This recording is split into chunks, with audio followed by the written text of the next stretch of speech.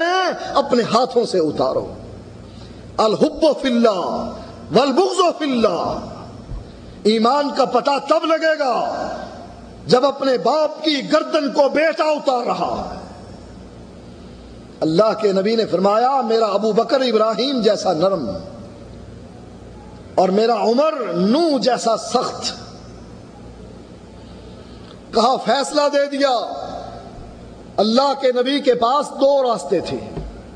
चाहे अबू बकर की बात मानते, चाहे उमर की बात मानते, हालात का तकाजा यह था कि बात उमर की मानी जाती, लेकिन तकदीर का फैसला यह था कि बात अबू बकर की चलती। इसीलिए अल्लाह ने कुरान में कहा, लौला किताब मिन अल्लाह सबक। अगर ये इससे पहले लिख ना दिया गया होता ये बात गुजर ना गई होती कि फैसला तुमने अबू बकर की राय के मुताबिक करना है और इनसे माल लेना है, फिदिया लेना है। फिदिया लेकर इनको छोड़ना है, आज़ाद करना है। अगर ये पहले बात गुजर ना गई होती, हालात का तकाजा उमर की राय थी और तकदीर अबू बकर की राय थी, नबी ने फैसला तकदीर पर दिया। कहा, अबू बकर की राय नाफिज कर दो। आसमान से वही उतर आई। कहा, अगर रब ने यह फैसला ना कर लिया होता, तुम्हें माफ़ करने का लमस्कुम फीमा अखस तुम आजाब अजीम। जो काम तुमने किया, इस पर रब का बहुत बड़ा अजाब उतरता।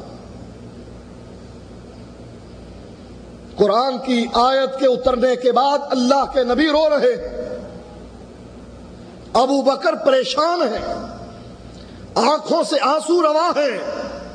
हज़रत उमर आए, आकर पूछने में, अल्लाह के नबी, क्यों रो रहे हैं? मुझको बतलाओ, ताकि आपकी इत्तेबा में मैं भी रो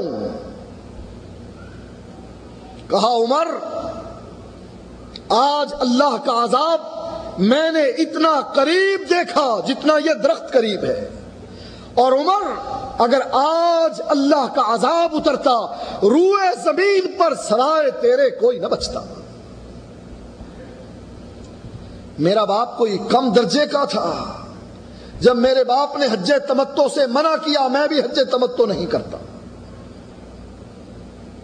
यह है तकलीद। और इत्तेबा क्या है? साहिल से पूछा, अमरो अभी युतबो अमरो रसूल वसल्लम। एक तरफ़ मेरे बाप की बात है और दूसरी तरफ़ मदीने वाले की बात है। अरब के बादशाह की बात है। अबू बकर और उमर के दामाद की बात है। उस्मान अली के सुसर की बात है। फातमा के बाप की बात है। हसन और हुसैन के नाना की बात है। बिलाल के आका की बात है। अमरो अभी युतबो अमरो रसूल सल्लल्लाहु मेरे बाप की बात चलेगी, या मोहम्मद रसूलुल्लाह की बात चलेगी? नबी की हदीस के मुकाबले में मेरे बाप की बात हुज्जत नहीं। यह है इत्तेबा। और वो है तकलीद। कि नबी की हदीस के मुकाबले में उम्र तो छोड़िए। एक आम इंसान, सहाबी नहीं।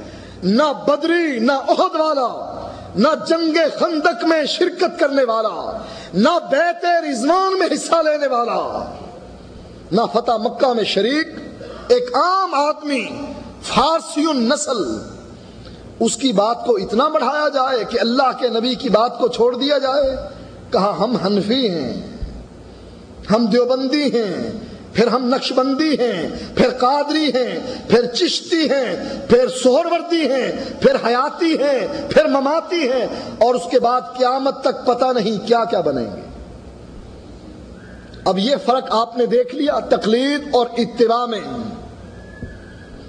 और जैसा कि मैंने दरमियान में कहा था कि तकलीद का हुक्म क्या है? इनके बकौल तकलीद वाजिब है। और हमारे नज़दीक जो तकलीद की जाती है हकीकत में उर्फ़ आम में नहीं, क्योंकि मसला पूछना तकलीद नहीं। क्यों इसलिए खुद कहते हैं कि मसला पूछना इसलिए तकलीद नहीं कि कुरान की आयत दलील है फस अहल ज़िक्र इन कुन तुम ला तालमून। अल्लाह खुद कहता है, मसला पूछो। जब अल्लाह कहता है तो तकलीद कैसे? तकलीद तो तब बनेगी कबूल कौल गैर मिन गैर हुज्जा, कि उसकी बात दलील ना हो, इसकी बात तो दलील है। फस अलू लिहाजा ये मसला पूछना तकलीद नहीं। तकलीद क्या है? किसी की वो बात मानना जो ना अल्लाह के कुरान में, ना मोहम्मद के फरमान में, ना इजमाए उम्मत और ना इश्तिहाद इनके नज़दीक वाजिब, हमारे नज़दीक हराम, बल्कि शिरक। बाज लोग परेशान होंगे कि यह शिरक कहाँ से आया? इस मसले को समझिए, मसला तकलीफ़ का, अकीदे का मसला। अल्लाह कहता है इन हुक्म कायनात में मेरे अलावा किसी का हुक्म नहीं चलता। ए नबी, तेरा भी चलेगा कि नहीं? कहा, नबी का हुक्म भी कुरान की इस आयत में ज़िक्र कर दिया गया है। मैं योत रसूल फ़कत आता अल्लाह। नबी की बात मानने वाला असल में अल्लाह की बात मानने वाला है। हुक्म सिर्फ़ अल्लाह का। शरीयत बनाने वाला अल्लाह है और शरीयत पहुँचाने वाला मोहम्मद रसूलुल्लाह है।